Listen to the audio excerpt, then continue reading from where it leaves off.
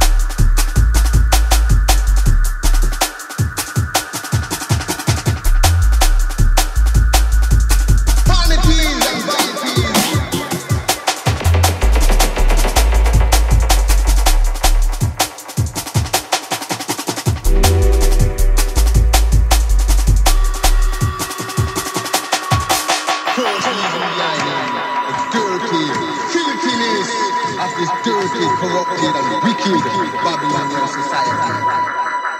And step forward to Zion.